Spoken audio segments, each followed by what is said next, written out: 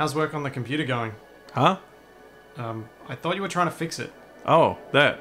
Uh, yeah. Check out this story I wrote. Oh no. Is it like your Christmas story? Not at all. There's no orphans in this one. Good.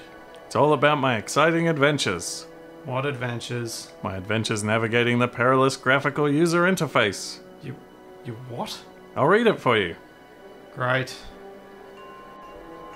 The fell chimes rang and the frozen light bloomed, searing away the darkness of the liquid crystal lattice. Iconographs thrust themselves into view, their meticulous labels scratching out meaning from the sea of marching binary calculations. With a laconic flourish, an abyss opened up before me, demanding a declaration and affirmation of my identity.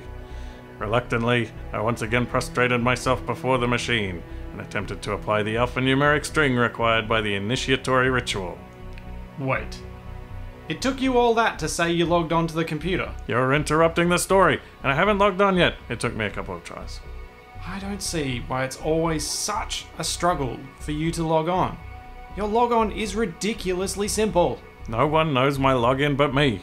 Username. Capac is great. Password. Yes, he is. Oh no, I've been hacked by the Russians! Only if being hacked by the Russians means leaving post it notes with your username and password stuck to every terminal. But I wrote it in code. Adding extra apostrophes everywhere is not a code. Hacking, cracking impossible to decipher codes. I think you've been brainwashed by the KGB. Oh, really? Have you been having sudden, uncontrollable cravings for borscht? I don't think so. But I did clear out all the vodka in the liquor cabinet. Oh no. How do I activate Red Alert? If you trip the alarm system again, you're sleeping in the airlock. I used the vodka to clean the engine components. You somehow managed to spill pasta sauce all over. Stand down from Alert, man. He's clearly still himself.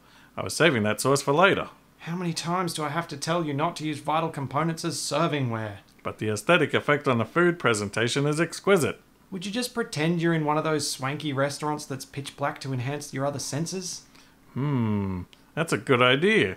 Do you think it can make other experiences more enjoyable? I suppose it could. Great. Let's test it out now on the rest of the story.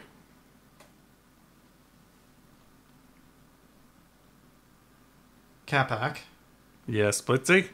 are you trying to read the story on the screen with your eyes closed? Ah, I was wondering why that wasn't working.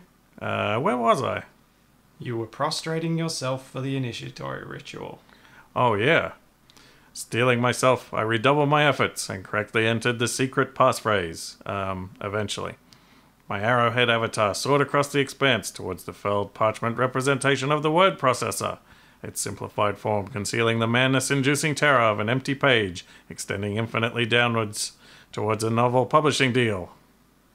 I hope you have a really good agent. I reached out with my trembling hands and laid them upon the array of keys. My consciousness sunk into a fugal state, and my digits started to dance upon the controls as leaves in the wind. Tiny virtual type bars hammered their singular purpose across the display, forming words and meanings where once there had been none.